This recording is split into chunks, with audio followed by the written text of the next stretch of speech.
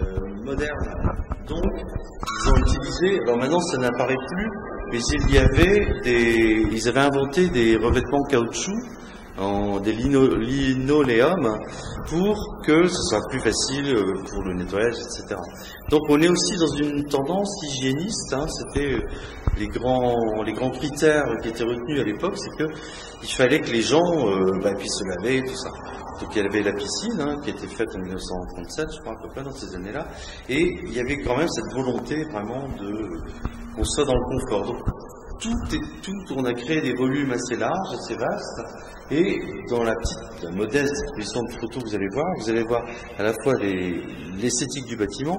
On a retrouvé une photo d'époque, on voit comment elle était faite, était encore plus belle que maintenant parce que les restaurations n'ont pas été très heureuses. Mais ça vaut le coup de regarder un peu comment c'était fait à l'époque.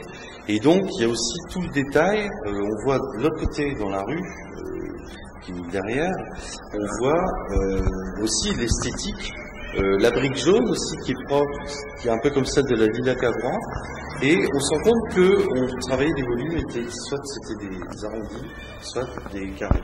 Donc il y avait, euh, on est dans une école qui vaut le coup d'œil. Voilà. Encore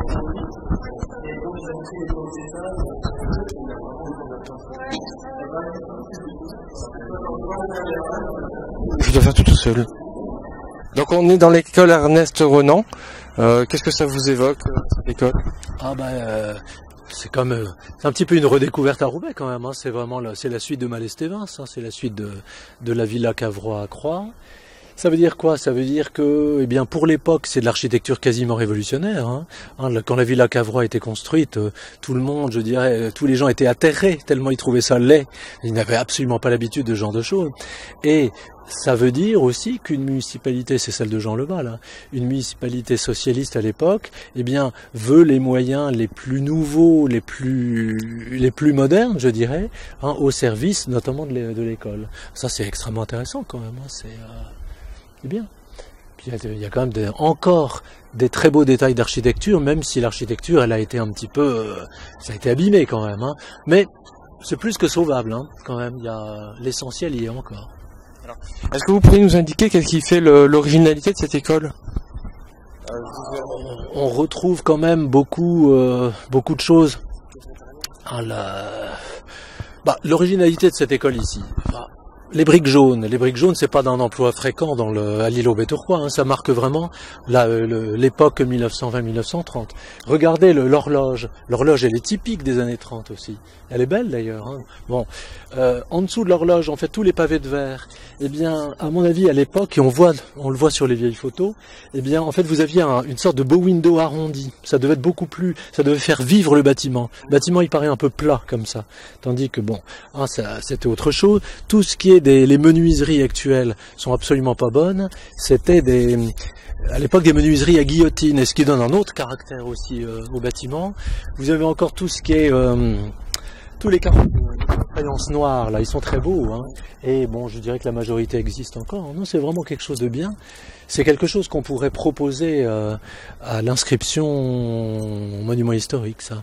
Hein, parce que, encore une fois, dans la métropole lilloise, il n'y en a pas tant que ça, euh, c'est beau. La maison de la directrice, elle est magnifique, là. Celle qui est hein, là, oui, derrière. Là. Il faut vraiment faire le tour. Elle est, elle est vraiment magnifique. Et là, on voit très très bien les fenêtres du premier étage Hein, sur jardin. La fenêtre de droite est bonne, on retrouve la guillotine, la grande guillotine là, et la fenêtre de gauche elle a été refaite après. Ça fait pas la même chose. Hein. C'est une l'architecture 1930, c'est une architecture toute de détails. c'est extrêmement bien dessiné, etc. Regardez par exemple ce qu'il y a au-dessus des des comment appelle ça les caissons des volets roulants là, qui ont été ajoutés après, hein, les caissons blancs. Au-dessus vous avez toute une frise de briques. c'est extrêmement bien dessiné. Hein.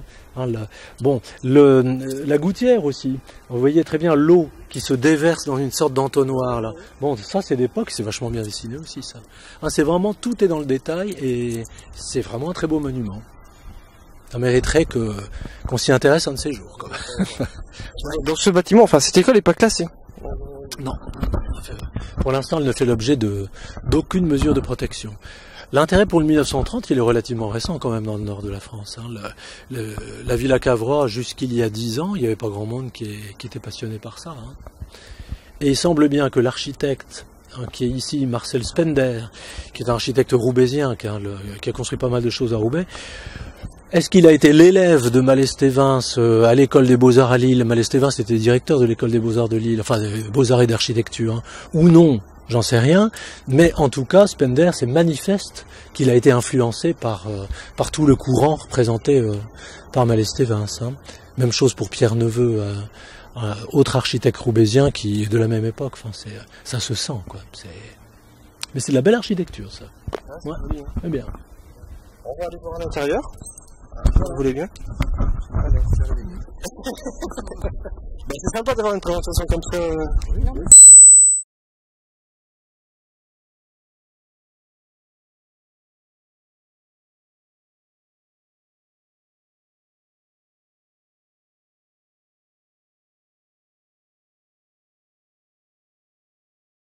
Embauché, on va essayer de comprendre ce qu'il raconte.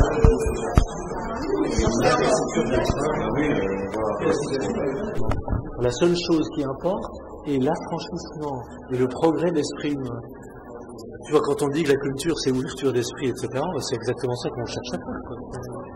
Et elle est bien, hein, cette truc. Hein. Attention, hein. comme tu me faisais remarquer, premier Grand Prix d'Europe. voilà.